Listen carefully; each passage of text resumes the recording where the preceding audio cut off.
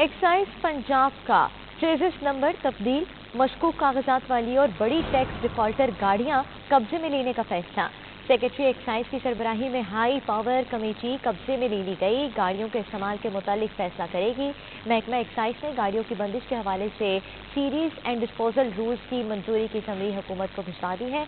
हुकूमती मंजूरी के बाद एक्साइज रूट चेकिंग के दौरान कार्रवाई का आगाज़ कर देगा। मजीद तफसी जान लेते हैं। अपने रिपोर्टर हाफिज फैज अहमद से। जी हाफिज फैज अहमद, क्या इकदाम उठाए जाएँगे? जी, बिल्कुल, महकमा एक्साइज का हमने एक बड़ा फैसला किया है, जिसके मुताबिक केसी नंबर तब्दीली मशकूक गाड़ियों कागजात वाली गाड़ियों और बड़ी टैक्स डिफाल्टर गाड़ियाँ कब्जे में लेने का फैसला किया है और इसके साथ टेम्पर शुदा गाड़ियों का इस्तेमाल करने वाले मालकान के खिलाफ भी कानूनी कार्रवाई अमल में लाई जाएगी। इस हवाले से सेक्रेटरी एक्साइज पंजाब आसफ बिलाल लोधी ने लेटर भी अरसाल कर दिया और कमेटी में तश्कील दे दी गई है। और कब्जे में ली गई गाड़ियों के मुतल जो फैसला करेगी। और ऐसी गाड़ियाँ सरकारी इस्तेमाल में लाने या उन्हें नीलाम करने करके रकम सरकारी खजाने में जमा कराने के हवाले से फैसला करेगी।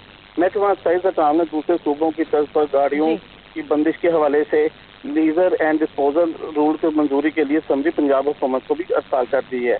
जो मंजूरी के बाद रोड चेकिंग के दौरान ऐसी गाड़ियों को जी ठीक है बहुत शुक्रिया। हाफिज साहब आप हमें अपडेट कर रहे थे। नाजिन मुतनाज़ ट्वीट के मुकदमे में गिरफ़्तार सैनिटर आज़म सवाती को तफ्तीश के लिए एक